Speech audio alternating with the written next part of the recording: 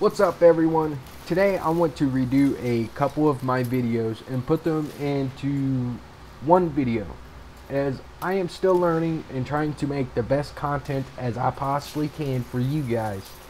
And as I learn new things, my videos will hopefully get better and you guys will enjoy them more.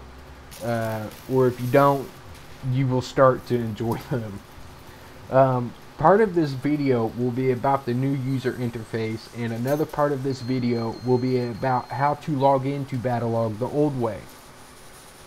And for me, after using the UI a couple of days, I realized that it was pretty much a hot steaming pile of dog shit outside. Pretty much. Go figure they gave us another pile of dog shit. One thing I remember is reading when they were talking about rolling out the new user interface is that you could disable the UI in Origin. Well, you can't. Go figure, they lied to us again. There's been a lot of problems throughout Battlefield 4 since the UI rollout. And some of the problems, to list them, server stability is complete utter shit now. There's horrible, horrible hit reg or hit detection, net code, whatever the hell you want to call it. It's horrible. When I'm playing now, uh, I get I always have a server um, air icon in the top right. It's red and it has the little server box on there.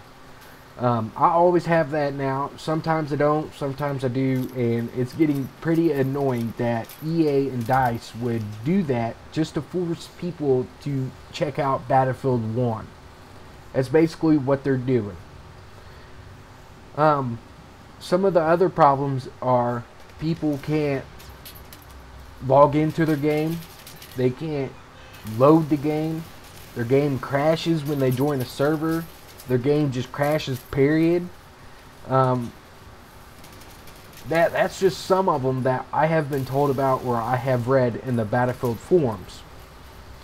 Uh, one thing we can do to solve a problem and to piss them off like they have pissed the Battlefield community off is not to buy anything from EA. No Battlefield 1, no Battlefield 4, no premium, no battle packs, no weapon packs, nothing. Uh, I'm sure they don't care a word that I'm saying because I'm a small YouTuber, but maybe one day my videos will be big and I'll be a big YouTuber and my input with what the community tells me will be actually worth something in the future. So we never know. Uh, another thing is that they make 1.3 billion dollars a year in extra content revenue. That is their profit right there. The extra content is their profit. So if we stop buying battle packs, premium weapon kit unlocks. So let's say for an example, I just bought the game and I want all the weapons that someone who's been playing for four years. Well, I can spend 15 to 20 dollars and I could bypass the ranking system and unlock every single weapon if I pay money.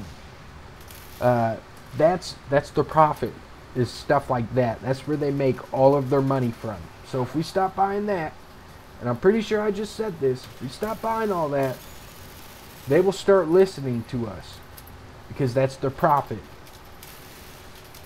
So, enough of the ranting and raving. Let's figure out how to log in to Battlelog so we can all start enjoying Battlefield again. So what you do is you open your browser and then once you open your browser you type in battlelog.battlefield.com and then you log in you put in your email or your account name and your password and then boom voila you now have battlelog back except you have to go to battlelog.battlefield.com every single time you want to play other than that eh, it's not that it's not really that big of a deal. It's just EA trying to force people to buy more stuff. That is all.